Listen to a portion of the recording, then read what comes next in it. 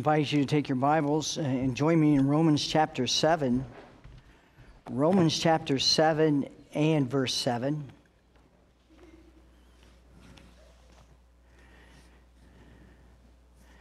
Romans chapter 7 and verse 7.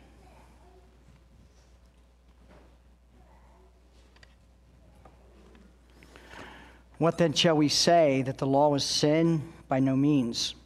Yet if it had not been for the law, I would not have known sin. For I would not have known what it is to covet if the law had not said, You shall not covet. But sin, seizing an opportunity through the commandment, produced in me all kinds of covetousness. For apart from the law, sin lies dead. I was once alive apart from the law, but when the commandment came, sin came alive and I died. The very commandment that promised life proved to be death to me.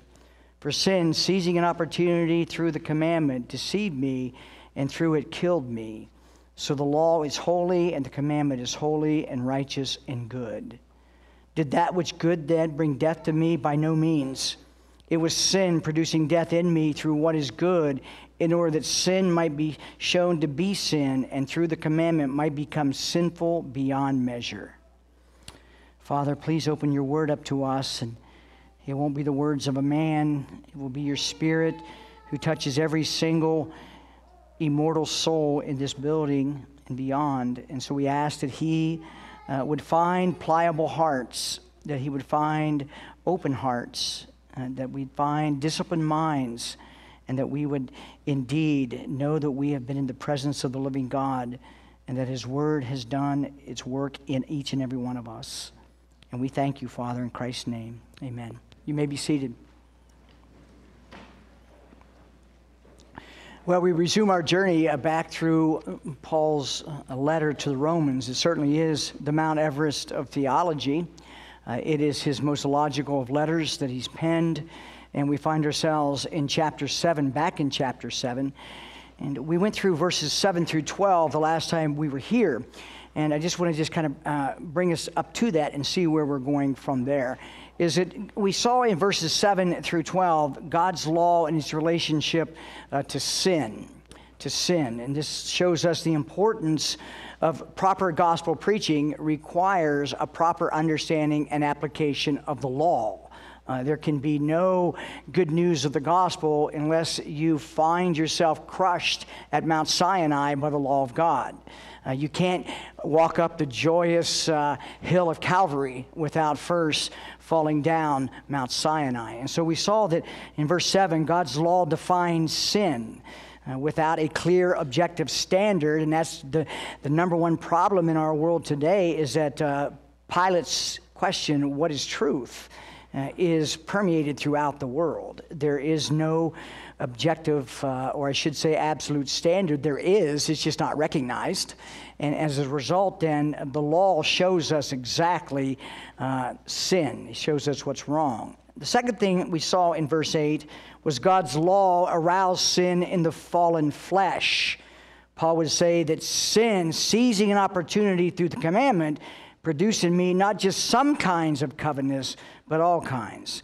And for the unregenerate person, the person that doesn't know Jesus Christ, what the law does, it just multiplies sin. It just continues to just, it opens the floodgate. The things that we read we shouldn't do are the very things that we want to do, we delight to do, and we do do. Paul would also go on in verses 9 through 11 and shows us that it's the just punishment. The, the law condemns the sinner not because the law uh, is bad, which we will see, but because the law knows no mercy. The law knows no mercy, it knows no grace. It only knows condemnation unless fulfilled in its totality, inwardly and outwardly, by every human being. And then in verse 12, we find that God's law is holy, righteous, and good. And so this whole, the, the, whole context here is, is these people that would say, well, Paul, the, the law must be bad because all you say is bad things about the law. And Paul would say, no, not at all is that he would say in verse 12, the law is holy. Uh, the law is, the commandment is holy, righteous, and good because those are the very characteristics of the lawgiver. The lawgiver is holy, righteous, and good. And so we come to verse 13 today, and this is all that we are going to, uh, to go through is verse 13. And uh, there's a reason for this, and I, I hope to be able to explain that to you. Verse 13 says, Did that which is good then bring death to me? By no means. It was sin producing death in me through what is good, in order that sin might um, be shown to be sin, and through the commandment might become sinful beyond measure. Have you anchored yourself on that verse much and thought about what Paul's trying to say? He's trying to show us, show Am, the exceeding, show them the exceeding sinfulness of sin. He's trying to show us how wicked and how bad sin is. So much so that he doesn't have words to describe it. He would have to use sin itself to describe it. And so when you look at the world around us today, and I'm talking two worlds, the world outside of the church and the world inside the church, there is a common problem among both. And it's my, it's my opinion. And that the problem is this what has happened to sin? What has happened to sin? The world doesn't know. The world doesn't know. So the world is acting like it should. It's when God restra- re- re- removes his restraint, as in Romans chapter 1, and the law does its work. This is what we see. However, the church, the church has lost the meaning of sin.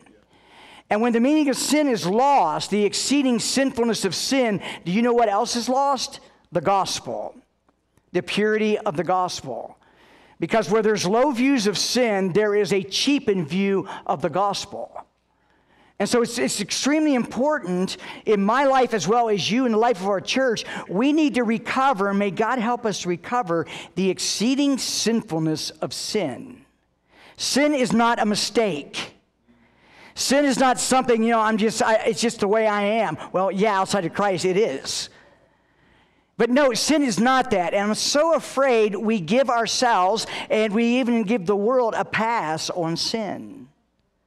And I hope that God will show us his just the consequences, the catastrophic consequences of sin, first vertically as well as horizontally, and that we will recover, uh, and that we will not we will not tolerate even what we may call, to borrow Jerry Bridges' coinage, respectable sins. Uh, procrastination is a sin. Complaining is a sin. Anger is a sin.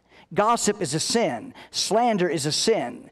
Uh, evil thinking of others is a sin. And all of those things are easily tolerated even among us today.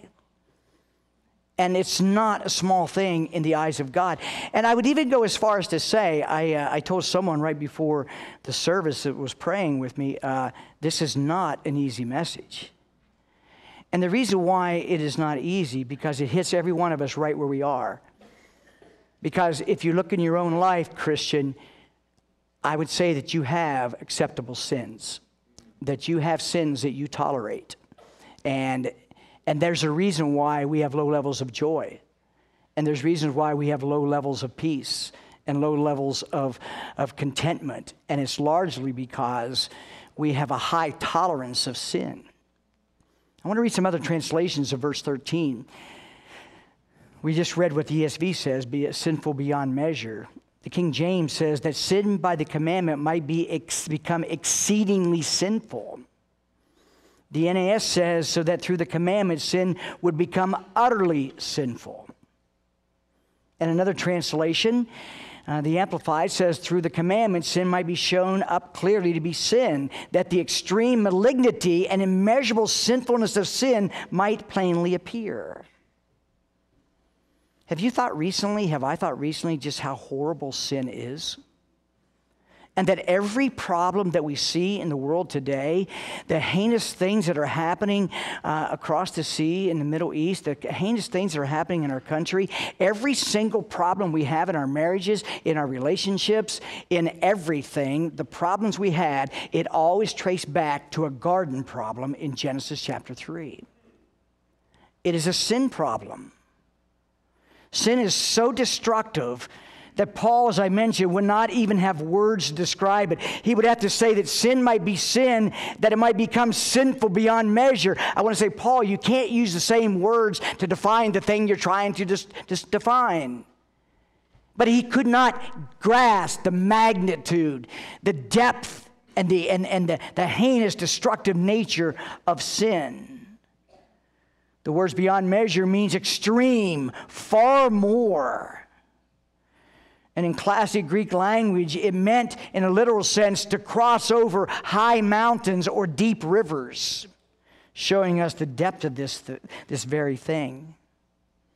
In the context of the law, we see that the, the law not only defines sin, but the law also turns it into conscious rebellion against God.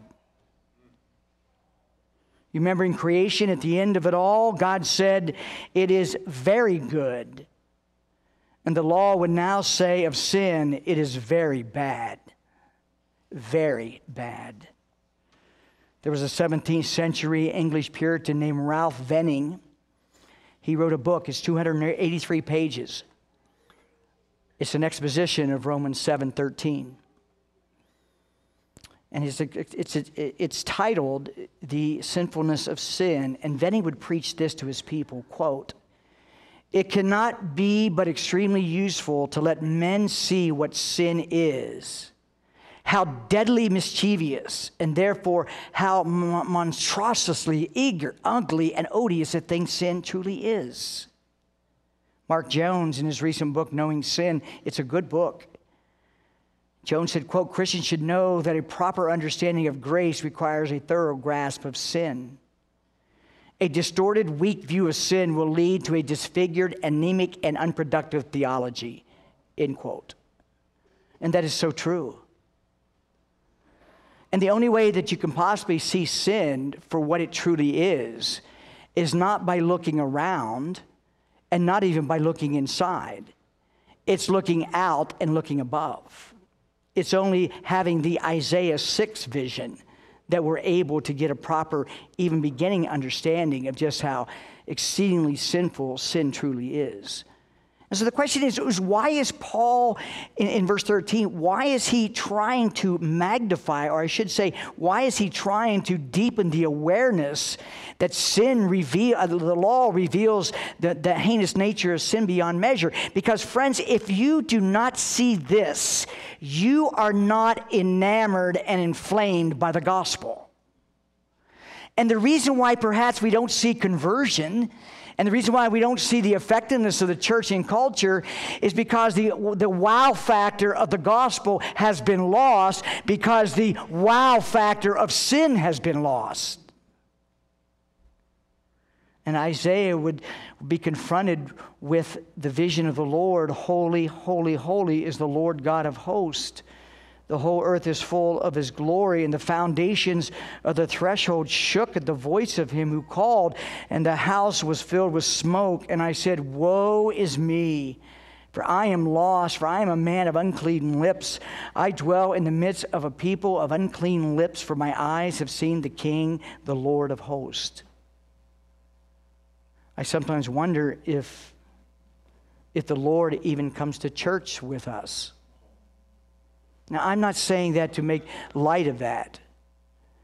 But every encounter you find in the Bible, I think there's 14 of them, of an individual coming confronted with God, you know what the outcome is? The outcome is a deep humility and a deep awareness of being undone, of being sinful. But when you get there and you know the gospel, you know what that produces when those two join together? Like when we gather today, there should be this overwhelming sense of privilege, an overwhelming sense of desire to see this glorious, holy, holy, holy God who comes to us and shows us how undone we are, and then comes with the balm of the gospel. And when those two meet, you know what happens? Worship. Worship.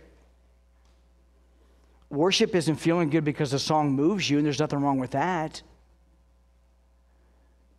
I must confess, Barrett and I listened to a song before the service this morning. Uh, I, I, encourage you to listen to it. Uh, Sovereign Grace, the King and all of his beauty. Yikes. Beautiful, absolutely beautiful. But you only will come to an acceptable place of worship when you come to an acceptable place that God shows himself for who he is and who we are before him, and the gospel rushes in and brings us up so we can worship. And so it's not about the entertainment factor. It's not about it's not about you feeling good because you heard this this moving song, and it's not about all that kind of stuff. It's about exceeding the, seeing the exceedingly sinfulness of sin in light of the exceeding glory and beauty of who God is that makes the gospel shine like the bright diamond that it truly is. And if that isn't how we see the gospel, then one of two things is wrong. We don't really know the God we claim to know, or we really don't know how sinful sin truly is. And what I want us to do is, I want us to uh, begin first by defining sin. I got an outline on here, and I, I like to give you an extensive outline so you may use it for further reference and study. But I want us to work our way through a couple things here. Is one, I want us to define sin.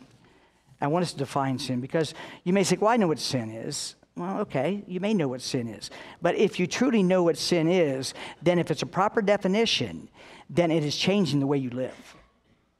Is if, if it's just like, uh, you know, I believe in the sovereignty of God.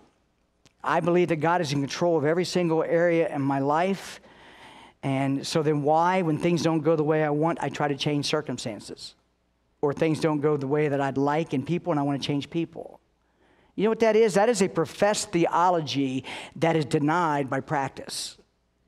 And it's the same thing with sin is we need if we really understand what it is then it should become what it should become such the most hated and the most heinous thing that we would run from any aspects of it trying to cling itself to us because we see what it is we see the destructiveness of this there was a missionary couple and they had a little child and they were they were in the jungles and they were uh, the little girl was outside playing, and mom and dad were doing their thing outside their home, and, and they've been, the little girl had been taught not to touch something that wasn't hers.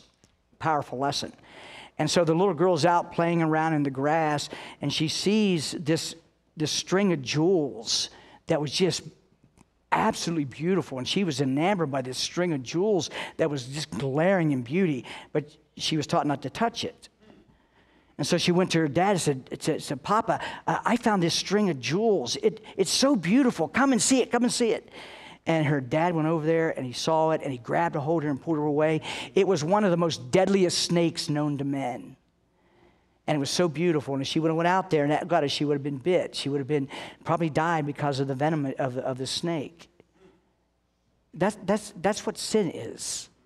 Sin has all these beautiful, attractive things and it is pleasurable. Moses uh, said he refused the, the pleasure of sin, the pleasures of Egypt. And so we got to be careful because the world glamorizes sin to where it's eroded the church to where we think, you know, it's just, I'm a little bad. You know, it's just a little bad. You know, yeah, I, I, I got an impatient problem with my kids. No, that's a sin problem. It's a sin problem. It's not, it's not, I got a little problem. It's, no, it's a big problem because it's a big problem that reveals that we don't understand how God sees sin. And until we understand how God sees sin and the destructive nature of sin, there's no hope of genuine repentance or of transformation because of the gospel. Remember the woman caught in adultery? What did Jesus say? She's, she's crushed to the core of her being. And what did she, what did she say? Well, neither, that no one's condemned me, Lord. And the Lord looked at her and said, Neither did I condemn you. Go and live as you have been. Go and sin no more. That's, that's how bad it is. And if you have a gospel that says, Well, I'm saved, I believe in Jesus, but there's tolerated sin in your life, and you're not mortifying it, as Owen would say, if you're not putting it to down, you need to question then what kind of gospel is it that you're enslaved into sin that you've been delivered from? Let's define this. I want you to look at uh, Psalm 51 for a minute. Psalm 51. We're going to define sin, and I want to do this by expanding because the goal today is for us to achieve what Paul wants us to understand, and that's the exceeding sinfulness of man. And that the law will show us that.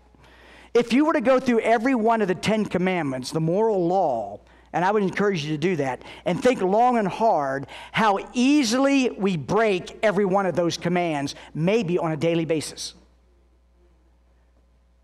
Start with the last one Because if you know that you've committed the last one, then you don't have to go through the rest of the nine because the last one's guaranteed that you broke the first nine. Thou shalt not covet. There it is. You get that one, you say, I'm guilty of that one, then you've, you've just committed the first nine as well. And that shows us really how heinous sin really is. And sometimes I wonder do we, do we grade ourselves, ourselves even as Christians on a curve? You know, we know, I mean, I got the first six, I'm okay. I'm struggling with number seven, but number eight, I'm working on it. No, it's not that way. And so, what I want us to see is the total depravity of man to include sin, because we need to see how bad we are if we're going to be overwhelmed with how good God is. Look at Psalm 51, verse 1 and 2, the total depravity of man uh, or of humanity. There are three things that Paul would say. I'm sorry, David would say concerning himself. This is recognized as his psalm of repentance uh, from his sin of Bathsheba. Have mercy on me, O God, according to your steadfast love, according to your abundant mercy. Blot out. Now, notice what he says here. And, and one of the most important words he uses here is the word my as the Lord Jesus is our personal, my Savior, uh, your sin, your transgression, your iniquity is personal too. He says, Blot out my transgressions, wash me thoroughly from my iniquity, and cleanse me from my sin. He would also say the same thing in Psalm 32. You don't need to turn to it. Blessed be the one whose transgression is forgiven, whose sin is covered, who the Lord counts no iniquity. There are three words that David would use transgression, iniquity, and sin that describe the whole depravity of every one of us. And I think I, I, know it's a little bit off of what Paul says, but this is a this is the family of depravity. It isn't just one. We are totally depraved. We are totally, you know, corrupt. And so David would say transgressions, iniquity, and sin. And we'll, we'll come back to sin when we go back and look at uh, the consequences of this. But the first thing he says, my transgression. Transgression is defined as crossing a forbidden boundary. And what is what transgression is associated with in the life of every human being. It's different than sin. Transgression is what is engulfing our world today, and in particularly our, our, our nation and its celebration of abominations. Is that transgression is, is rebellion against a rightful sovereign. Do you see your depravity as such? You say, Well, I, I struggle with some sin. But outside of Jesus Christ, we not only struggle with sin, but we are, we are a rebellious people against the sovereignty of God and his rightful rule over us. Well, he would go on and use the word iniquity. What does the word iniquity mean? It refers to original sin or our nature. It's the imputation of what we are in Adam.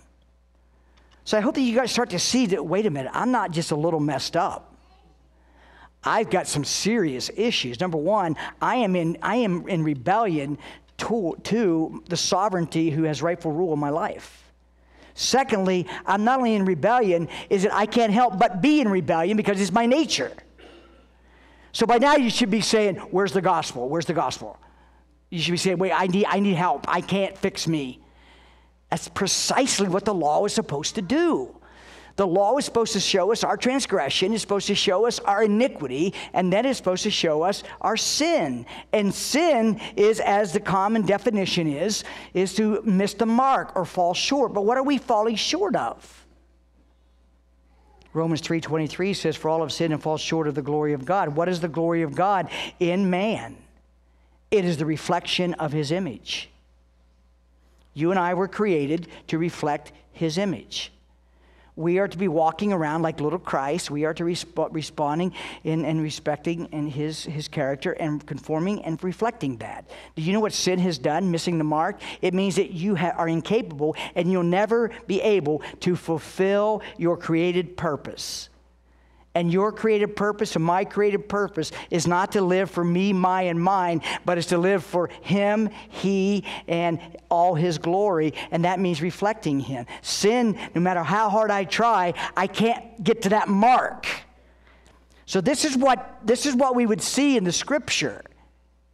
And I would ask you this question When's the last time you heard a sermon? And I'm not saying that because I'm preaching it, but when is, the, when is the last time that you've heard a sermon on the total depravity of man and that the problem is not government and the problem is not education and the problem is not you know, world, world leaders? The problem is the depravity of man in the heart of man because we're in rebellion to God. We are failing to fill our purpose of, of reflecting his, his, uh, his glory, and that by nature we can't do but.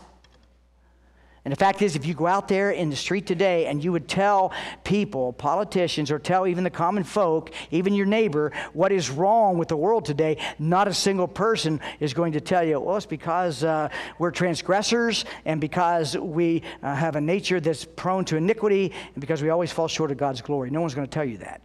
And you know what's even scary? You're not going to hear that in a lot of churches you're going to hear a gospel that makes you feel good and you can leave unchanged and create within you a false assurance that all is well and all is not well. I want us to now look at the consequences.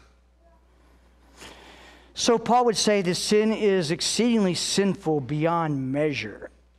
Well, when you, when you define beyond measure a depth and a height that is immeasurable, we got to look at what I've labeled the catastrophic consequences. And like all things in the Christian life, you must not start with yourself. And that's, a, that's another problem we have. It seems like all I'm doing today is identifying problems, and, but it's true in the sense that, you know what, a lot of, of Christianity, not only does it lack a, a thus saith the Lord concerning sin, and so the wonder of the gospel is lost, but a lot of Christianity is so driven by the consumer it's so driven by what's in it for me. They would never say that. But what happens when you go to, if, you, if, if, if the church isn't providing what you want, not necessarily what you need, not what you want, you say, well, you know what, that's just, not, I'm, not, I'm, I'm not there. I'll go somewhere else. We need to understand that Christianity is not about ourselves. It's not about self fulfillment. It's not about you know uh, self awareness. Christianity is about self denial and self and self control and self discipline for a cause greater than ours.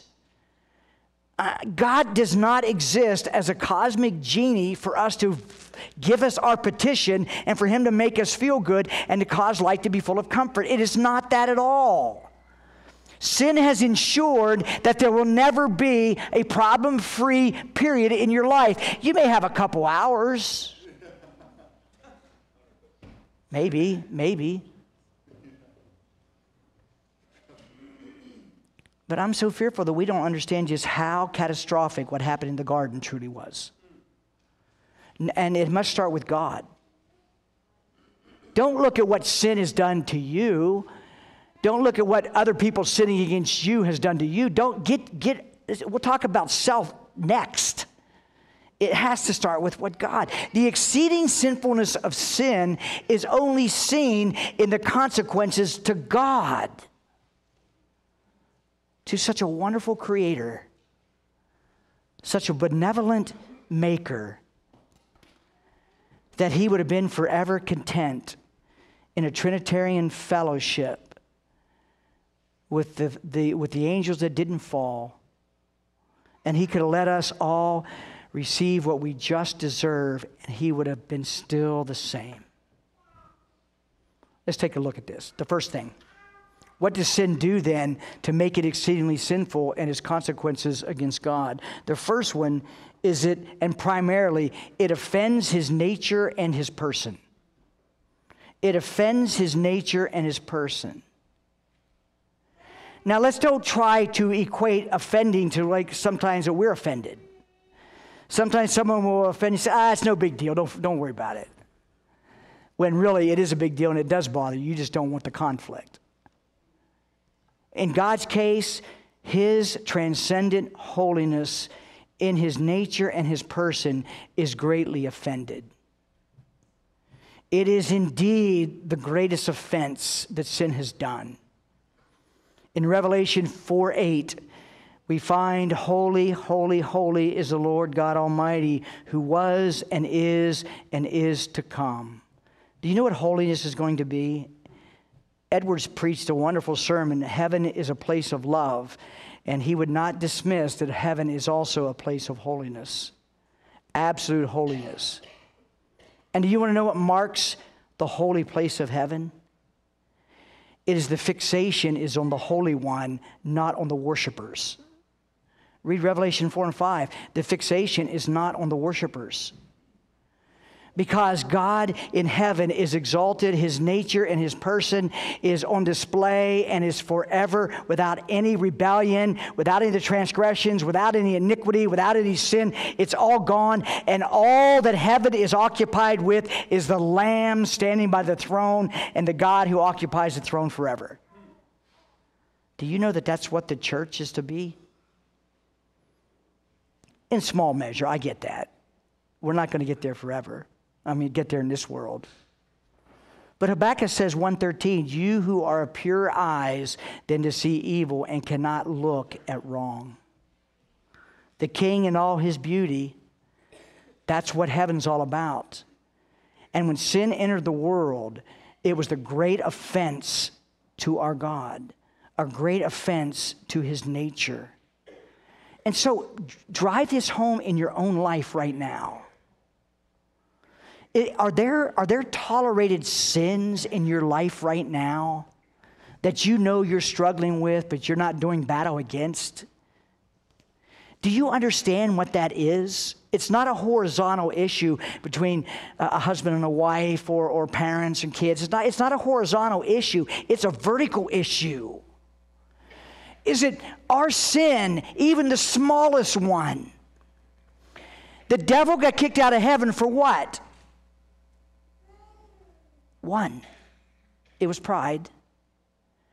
And so the angels, the fallen angels, and they're, they're locked up forever because of that one. They'll never know redemption. And so Ask God if you don't have this to see that even the slightest sin, the unkind word that comes out of your mouth, the impulsive display of anger that comes out of your mouth, those are direct offenses to God because sin is exceedingly sinful beyond measure because it is a direct affront on His holy nature. And I don't say that to cause you to say, oh, I'm undone. Well, yeah, I do say that to cause you to, yeah, I do. Because I want you to be so undone, and I want you to look into your heart and say, I have allowed this for too long. Oh God, be merciful to me, still yet a sinner.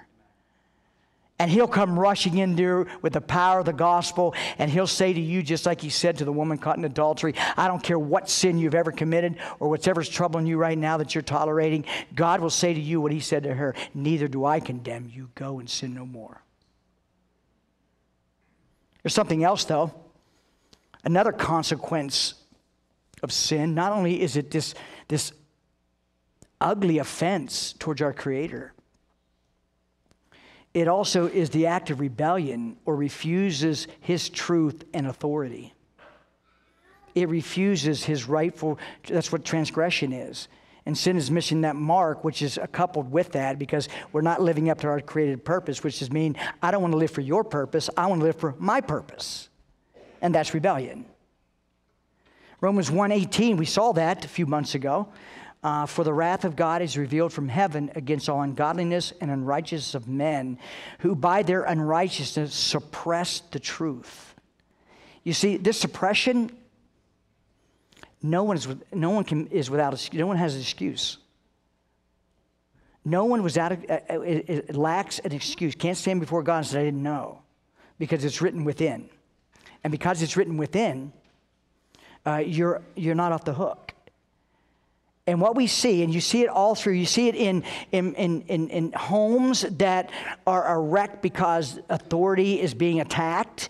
You see it in government, you see it in schools, you see it everywhere, is that there is this anti authority spirit that is so prevalent.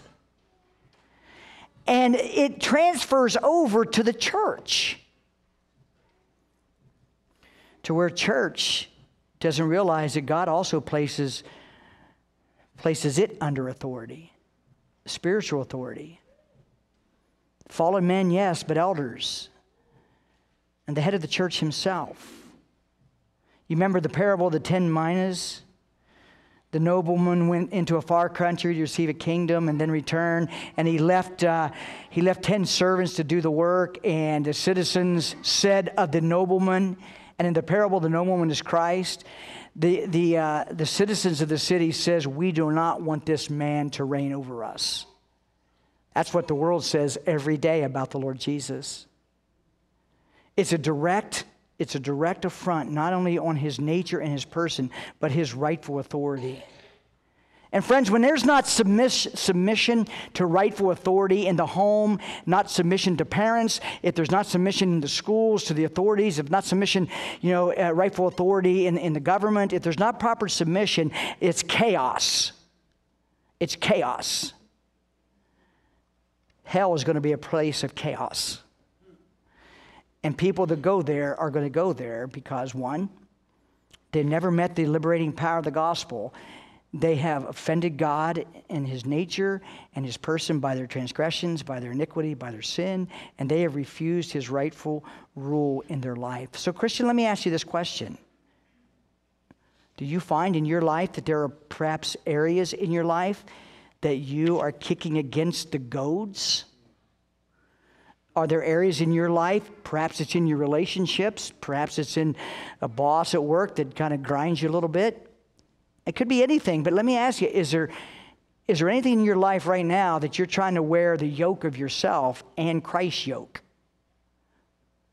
I would say you probably got some chaff burns on the back of your neck because you're kicking against something you can't win. And so, Christian, if that's you, then likely you're tolerating sin and you are trying to have your will and his will, and he will share his glory with no one. It will be his will or it won't be. I think it was F.B. Myers that said he will either be Lord of all or he will not be Lord at all.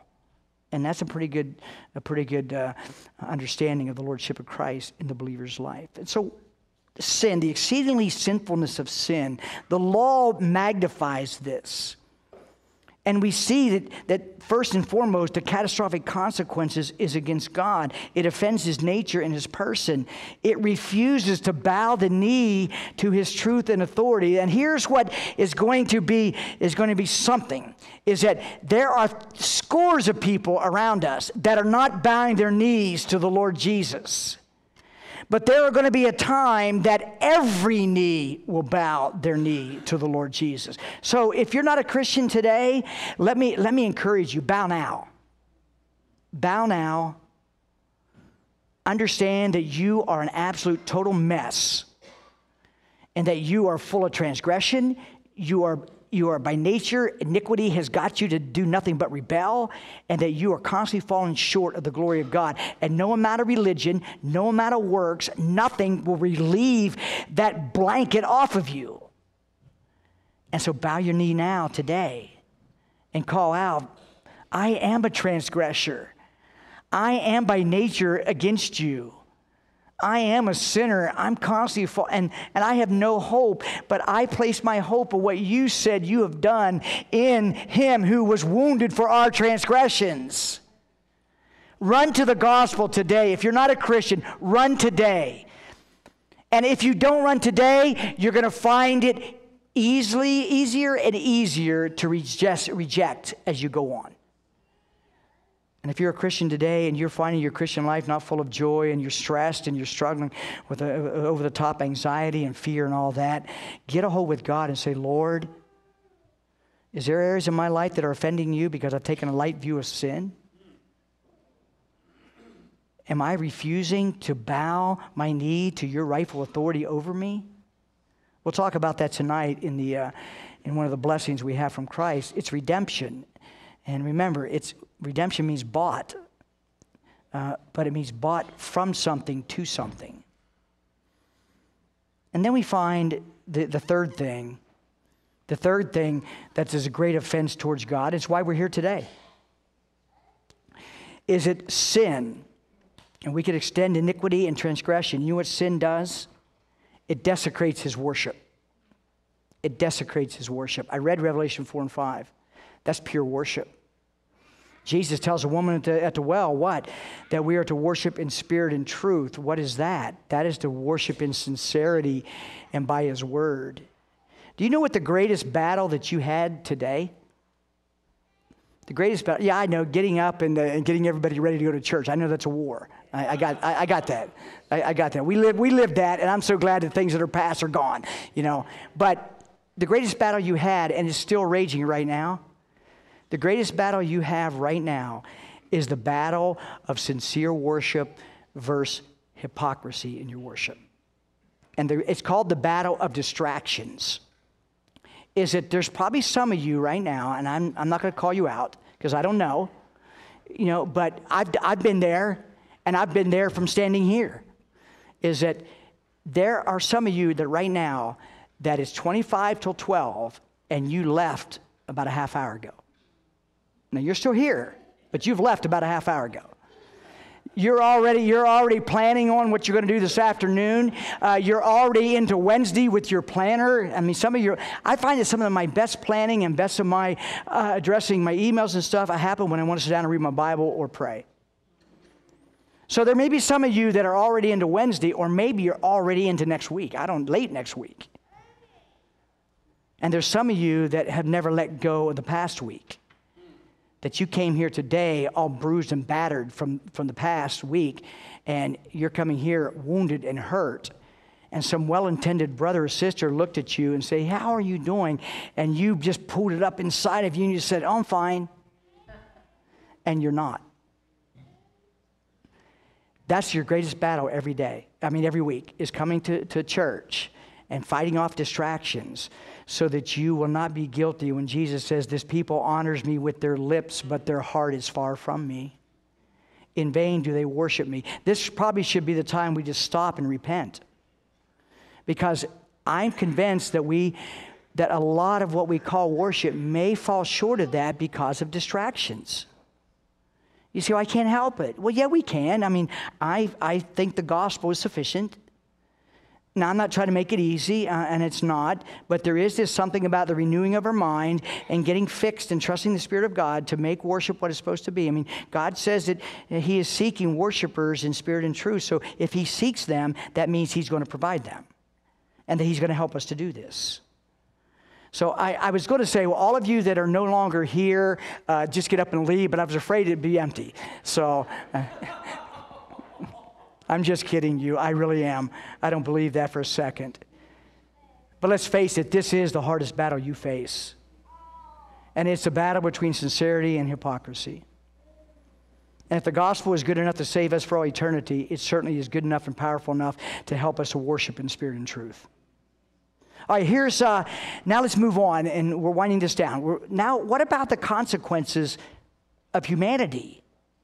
What has sin done to humanity? And this is equally catastrophic. For God, and foremost, it offends his nature and person. Secondly, it refuses his truth and authority. Thirdly, it desecrates his worship.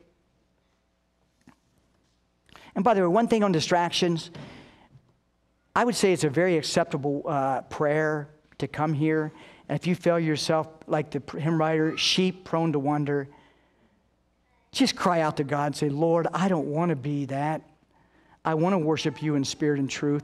Please, what I sing, let it come from my heart and mind, not just my lips. Tell him the struggles. And tell him you long for that day in the revelation where you will not have any of that.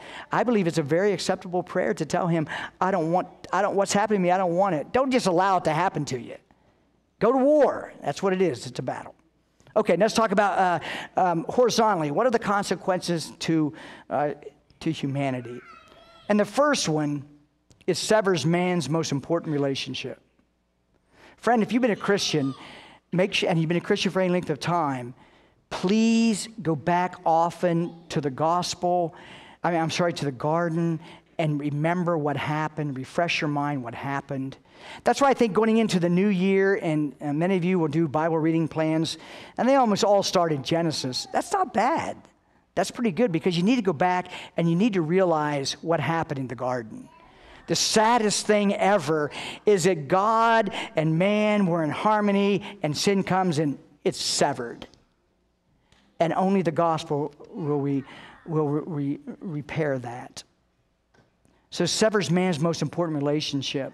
Paul would say to the Ephesians, Remember that you were at that time separated from Christ, alienated from the commonwealth of Israel, and strangers to the covenants of promise, having no hope and without God in the world. That's, that's where you were outside of Christ. That's what a large uh, percentage of the people around us are right now. And think about the own troubles you have in your own life as a Christian. Can you imagine trying to slug out what's happening in our world and not be a Christian? Unbelievable. It's no wonder we see suicide rates up. It's no wonder we, why we see drugs and see all the fentanyl and see all the stuff that's happening around to young people and not just young people. No wonder we're seeing all the chaos and all the shootings and stuff. Is that people are without hope. And that's what happened to sin and transgression and iniquity. It severed not only the relationship of God with man, but it also removed all hope.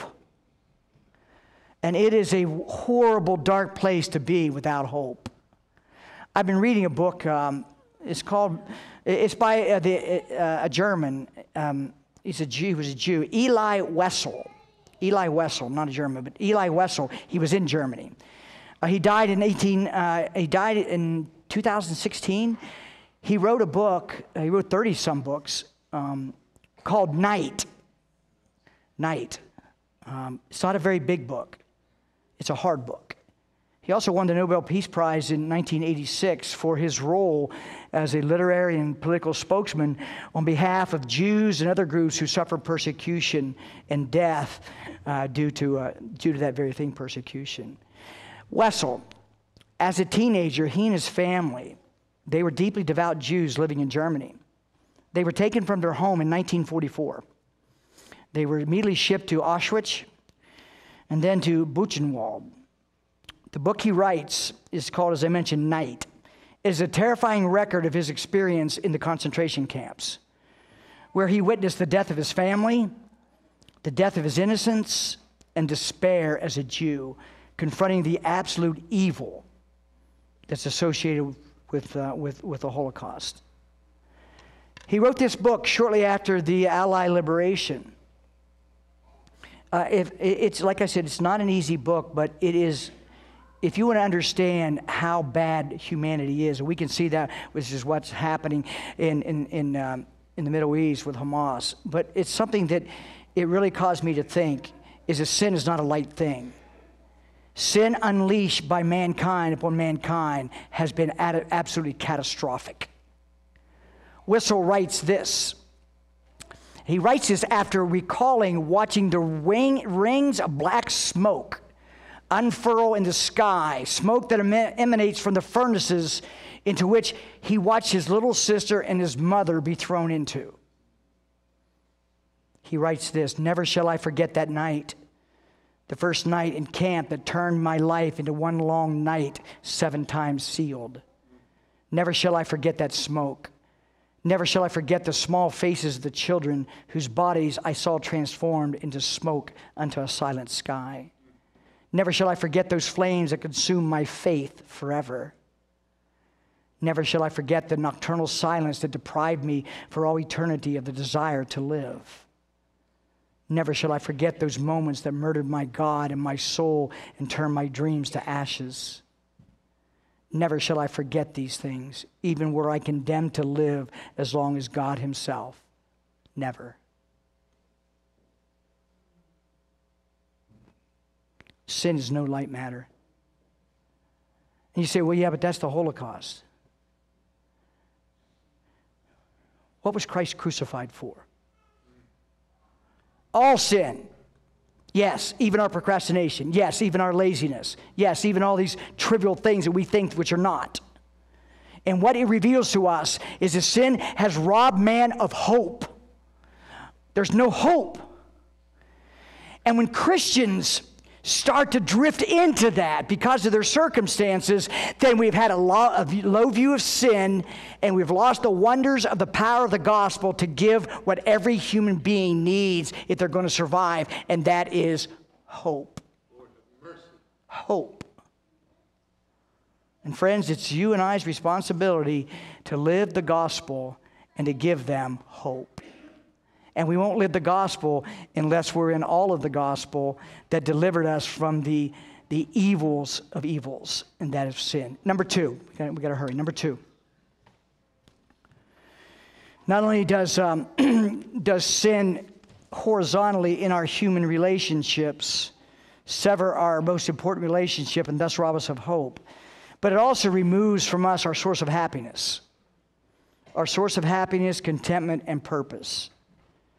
Again, Christian, now if you're not a Christian today and you're trying to find contentment and happiness and, and purpose in all the things of the world, I, I got that.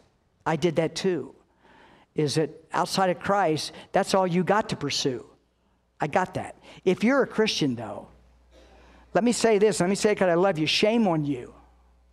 Why are you trying to find in human relationships, in human material things, in human pleasure, in human accomplishments, why are you trying to find in what is only found in Christ and you even know better? Is that we know better? And if you need a reminder, go back to Ecclesiastes. I won't read it for the sake of time, but read uh, Ecclesiastes 2 1 through 11. Solomon says, Then I consider all that my hands had done, all that I expended, and I kept my heart from no pleasure. And at the end of it all, it was a striving after wind, and there was nothing to be gained under the sun. That's what sin does. It deceives you to think that you can find in the world and in human beings what can only be found in Christ. And, and really, you know what we want as Christians? And again, you can correct me afterwards, but if you want to, I'm going to run out so you can't catch me. Um, I think we all want a pretty easy life. We want a pretty easy Christian life, too. We don't want any pain, we don't want any suffering, but maybe just a little bit we can manage. We, we, want, we want easy street. We really do. And I thought about that and I come across this little uh, illustration. Did you know that there actually is a street called Easy Street? It's in Honolulu, it's in Hawaii. Here's the directions take Pali Highway northbound, travel about a third of the way uh, to get to a pass, turn right on Park Street, go one block, and there it is right in front of you, Easy Street. Turn left. He says, and as you go about a block, you're going to see another sign. It says, dead end.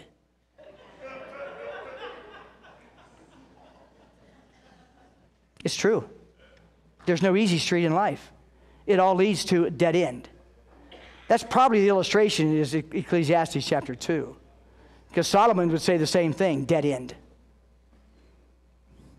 And then finally, this is what sin does.